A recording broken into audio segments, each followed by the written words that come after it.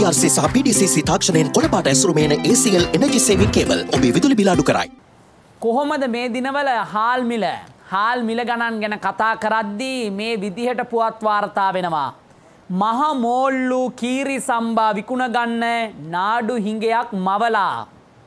ගොවි ජන එකමුතුවේ සභාපතිය සඳහන් කරයි.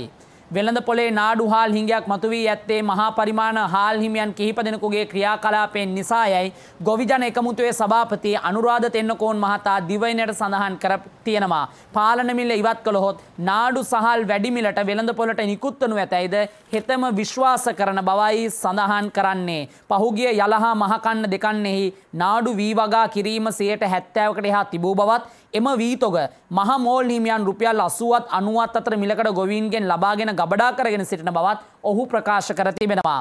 කීරි සම්බා පමණක් වැඩිපුර අලවි කරන බව සඳහන් කරන ඇතැම් පිරිස් ළඟද නාඩු වී පවතින බවත් නාඩුහාල් වෙනද පොලට නිකුත් නොකර කීරි සම්බා අලවි කර ගැනීම සඳහා මහමෝල් හිමියන් එක්ව නාඩු හිඟේ මවාපා ඇති බවත් තෙන්නකෝන් මහතා සඳහන් කරනවා.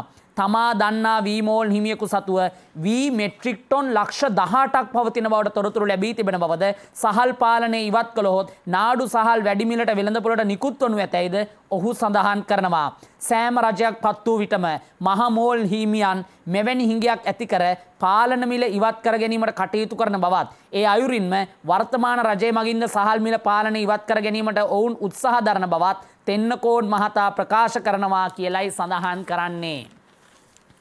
සෑම රජයක්ම බලංගිහාම අල්ලේ නටවල තියෙන මේ මහා මෝල් හිමියෝ. ගොවිජන එකමුතුවේ සභාපති කියන විදිහට සෑම රජයක්ම මේ විදියට අපහසුතාවයට පත් කරලා පාලන මිල ඉවත් කරාට පස්සේ ඇතුළේ හංගන් ඉන්න නාඩු හාල් ටික එළියට ගන්නවාලු මේ මහා මෝල් හිමියෝ.